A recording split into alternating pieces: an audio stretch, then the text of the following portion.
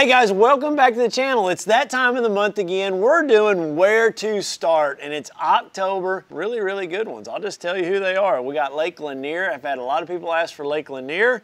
I've got Lake James in North Carolina. Really cool lakes. We're gonna talk about where to start. You know, two, three, four areas on each one of these lakes uh, and why. Like, why would I start right there when we go to talk about these? Uh, it's just an area to kind of like to get a bite. That's what I always say. So, you know, you can take these, if this is not one of your lakes, you can take what we're going to talk about in this video and uh, use it on your lake. You know, we're going to study the C-map here. That's a big part of it, looking at the C-map, looking at uh, aerial imagery. Um, those are the things we're going to do. We're going to break it all down for you. And at the end of the video, as always, thanks to Optima, we're going to give a battery away just to one of you lucky subscribers that has left a comment. So you guys stay tuned.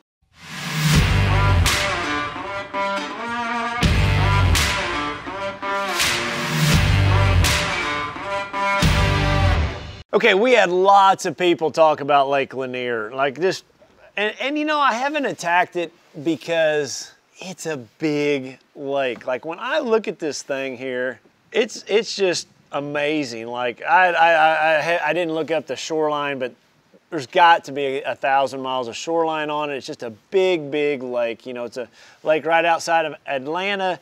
It's got spotted bass in it. It's got largemouth in it. It's on the Chattahoochee River. Um, monstrous lake. So let's talk about October fishing on spotted bass fisheries.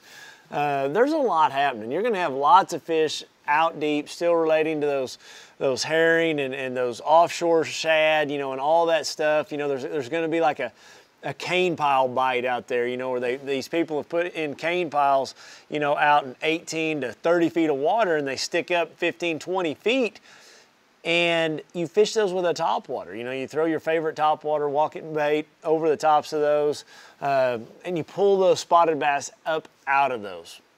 So for me to find those, that's going to be a deal. I'm going to be finding those with my, you know, Lowrance electronics from the back of the, uh, you know, the steering wheel on my boat. It's just not say, hey, go fish this cane pile or this deal. You know, just look out off those extended points, uh, secondary points. You know, flats that roll off, you know, anything irregular on a, on a, on a channel swing. Let's just, I don't know, let's just pull something up. Like when I, when I pull up this map immediately right here, you've got all this water, it flows down to the dam. You've got one heck of a saddle right here that just, man, it's intriguing. It's super shallow on this side. It looks like these symbols right there are brush piles, got a roadbed coming in, then you've got a, a saddle. I love saddles. I, I springtime, summertime, fall time, saddles, really, really good. But there's gonna be, you know, out off this point, somewhere in that saddle, uh, maybe out off that hump, you know, and, oh, I, I just, I'm sitting here saying saddles, and I may have a viewer here that doesn't know why. You know, a saddle is one of those compression points. It's, you know, you've got a lot of, a big body of water, and a saddle is, is a, a hump. You know, like you've got this island out here, and it's just a saddle where the water's got to go up and over it. So, you know, it's, it's, just like a connecting piece of land that the water's got to go over, but it's underwater. And we, we just call them saddles, and it's a pinch point. Um, it compresses the water vertically, it compresses it horizontally. Uh, current's got to go over it, so those fish are able to ambush things on those. So anytime I'm on a body of water that, that's got spotted bass, um, you know, feeding on herring, saddles are just tremendous. You know, you could fish that one, you could run right across here. You've got another one that's super shallow. Um, you know, then you're gonna find some deeper ones. You know, you've got a really deep one here uh, with a gut right in it. Like I could just, man, I could fish a bunch of those really, really quick. So those are some areas like, you know, looking for those cane piles, this point that sticks way out off this island, you know, that, that would be a spot right there that would be really, really good. Um, looks like that's about 31, 32 feet of water, those cane piles. What is a cane pile, you ask me? It's, it's, it's cane. It's just super, super tall sticks that are like the size of my wrist and they just bundle them up and they just kind of, they're just, they're not very big and they're gonna be hard to see on your electronics a lot of times. You'll see just, they're spindly. It's just gonna be like a, a clump of 20 foot tall grass out in the middle of somewhere. And, and that's, that's what people suspend and that's what people, you know, put on these spotted bass fisheries. So look out off the structure. You know, that's gonna be one or two or three places to start, one thing to do, you know, for the spotted bass. So when I zoom back out and I look at the map,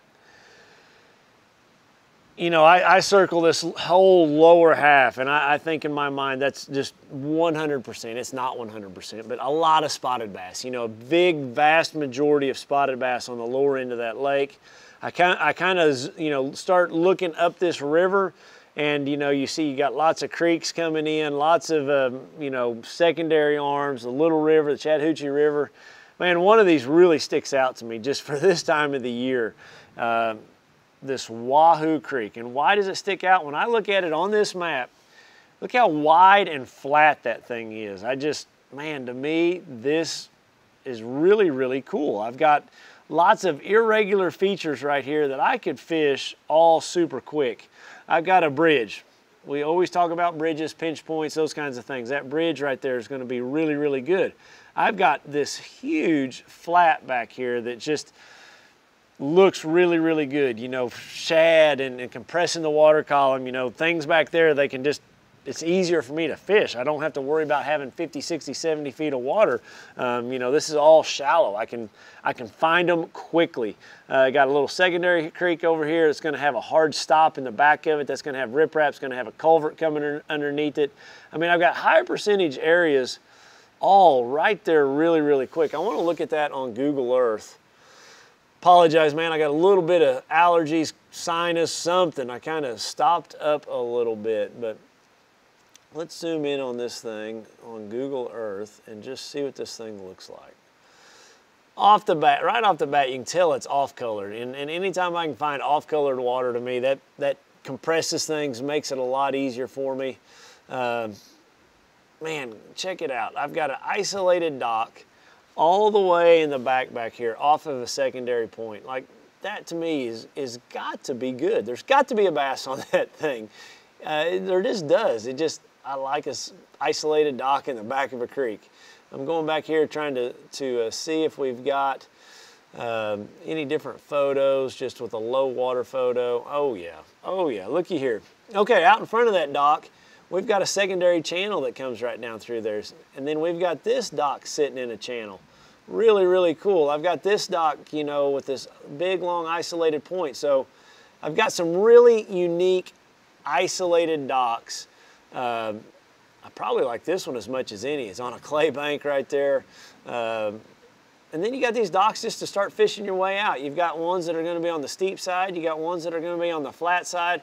I can just break it down really quick because there's so many different things to fish coming out of this creek. You know, just docks and bridge, just, you know, out off this point right here looks really good to me. So there's just lots of key unique features where to start. And that's how you break it down. Just get somewhere where you're comfortable. And for me, that's where I would be comfortable on this lake. So you could duplicate that in many different situations, but when you look at the C-map, that creek is different than a lot of the other creeks. A lot of the other creeks are narrower, steeper, deeper. Uh, this one's flatter. You know, it's gonna, we always talk about also, you know, the biggest flats house the most amount of fish because that's the biggest spawning flat. So those are some areas where to start on Lanier. I hope that helps you guys. All right, let's go to the next lake. We have got, this is a cool lake. I can't, I, I can't believe I've never done this lake. Maybe I have, but I don't remember it. Lake James. I, I just, it is cool, like mega cool. And, and what is so cool about it, there is one feature on this lake that just is super cool, and it's this canal bridge. There's a canal that connects parts of this lake, and you can tell by looking at it that there is a ton of current that rolls through it. And I'm gonna show you right here uh, what I'm talking about. I mean, to me, it's just like anytime I would go there, that I, it's I just would have to start there because it it's that cool of a spot. All right, as I zoom in here, I, I just placed a, a, a, marker on it so I could find it easily here on Google Earth. Um, okay, this is it. So you have got a big, huge body of water back this direction when you zoom out. If, if I looked at it here on this map, you got all this water. And you got all this water any kind of wind change, it's all got to go back and forth through this canal. Uh, you know, looking at the aerial photos, they, they pull water out of the dam right here. They do some generation out of uh, another dam over here. Um, so there's a lot of area that they could pull from if they pull from one side or the other. Okay, but here's the spot. Like when you start zooming in on this thing, look at all these pinch points. I've got, you know, water that's got to come around here. I've got this long extended point right here. I've got water that comes around the backside of this island. You can just tell, you know, how much this current is just, it rolls through there. And, and if I go back and I look here, just to see if we have some different photos. Oh wow, here's a photo with it with it really, really low. So you look right here, look at this point sticking out on this island. So this is part of an old road. You can see it right here. There's an old road that used to go across here and you've got a rock pile, a beautiful rock pile just sticking right out there. That's like a number one. I'll go right there. I will go right there and catch one. I just, I really, really like that. Uh, with that water up, I like this, this drain coming around here. Uh, you know, you've got a point right here, a little secondary point. You got a point right here. It looks like it's got some clay, some hard spots on it. These laydowns, just this is so high percentage on any body of water that you go to. Uh, you know, you got that, you got a really neat little saddle that road's making right here. So uh, I gotta apologize, guys. It is pouring outside. Like we are getting a big lightning thunderstorm right now. I hope I don't lose power. But a super cool spot to start right there. You know, you, you come across this canal, you've got another underwater hump right out here. Uh, it's going to be a great place for those spotted bass largemouth to, to push up on this island. Uh, it's just flat. You know, we talk a lot about flats. This flat right here, you can tell it's got some sort of rock pile right there. So this is what it looks like with the water full that sits right there. You can still actually see it a little bit. It looks like there's a buoy right there, but there's some sort of rock pile right there. It's just a cool, cool point that, man, I would have to fish uh, if I was going there. Let, let's get somewhere else. That's the lower end. That's a lots of lots of really great positive things there. So if I was to zoom out, there's not a lot. There's some boat docks, but I'm not going to say. I mean, it's not like Lake Norman that's just littered with boat docks. So what the advantage to that is, at least these boat docks are far enough apart that you know you could go run some isolated boat docks all day long. You know, it's not like there's so many of them. When you get sucked into them, you fish three hours and you haven't covered any water at all. This lake here, you know, there's just se sections and stretches that have boat docks, but then there's you know sections and stretches that, that don't have any. So you've got some variance there. But okay, just looking at it quick. See how this bank right here is flat? You know, see how much these are, are, are steeper. That's mega steep, steep. Look how flat that, that bank is. That is different. That is a place that I gravitate to in the fall. I don't care if I'm on Grand, Lake James, whatever lake it is. I want shallow, flat boat docks. And that's what this bank has right here. Those are shallower than any other boat dock on that lake when you go to fill that up. And that is exactly what you want to try to find in the fall. It's just, don't ask me why, that's where they get. In, in the month of October, that's a good stretch of boat docks. Let's just see if there's anything else. Cool flat point right here. Got brush piles, you can see there's just brush, brush, all this is brush, you know, so out deep, I could fish up shallow on it. I like this stretch of stuff. You know, just think shallow in October, guys. Think top waters, think covering water.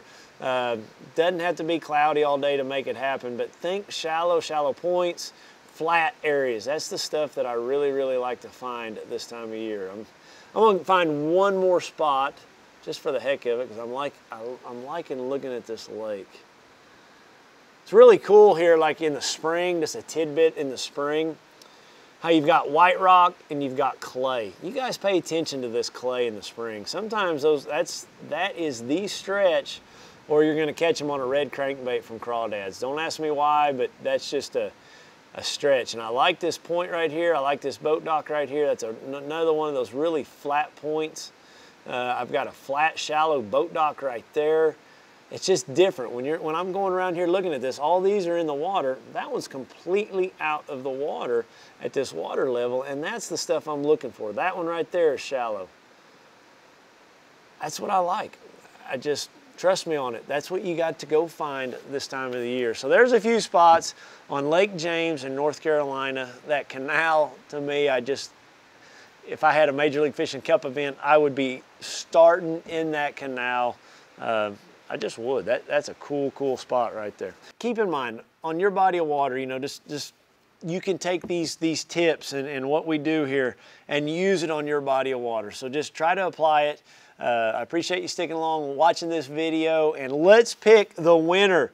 Um, in my last September video, I had the comment, this is totally random, guys. We do, I'd like you to be a subscriber. That's all I ask. It's just one of those things that helps the channel. But Josh Mize 9705. He said, Edwin, watched this video last night, went out this morning, did everything I learned, and caught a 533 largemouth. Congratulations, Josh. Uh, with you saying that, uh, man, just send me an email through my website, and I will I will get you a, a, a gift certificate for an Optima battery of your choice. Um, you can put it to good use. Thanks to Optima Batteries for sponsoring this video series. Uh, I enjoy looking at these lakes, guys. I, have been on Palestine before. It was in the springtime, uh, but Lanier and the other one I had never been on, and, and uh, those look like cool lakes. So you guys leave me a comment. Tell me if I made any sense to you. Sometimes, you know, I, I don't hit it on the head, so but I do try hard, and, and that's the thing about it. I'm just trying to look for a place to start and get a bite uh, if I was going to these bodies of water and trying to narrow it down as quick as possible, and why. So that's what we're trying to do with this video series. I hope it helps, guys. Uh, I want to wish you the best. Good luck in your fishing, and I hope you catch a big one.